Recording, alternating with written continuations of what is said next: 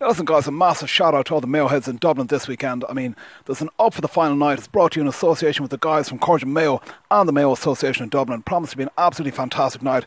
It's in D2 in Harcourt Street. I think throwing is about 8 o'clock, featuring some of the most fantastic legends from the county. Guys like Nathan Murphy, Kevin Kilbane, former soccer player, guys like Mickey C, former county footballer. I mean, these are the finest exports to come out of County Mayo since yours truly. So, I mean, guys, what more can I say? This Saturday night coming, you know, the venue is D2. I'm going to bring my O'Neill's shorts, so you bring yours too.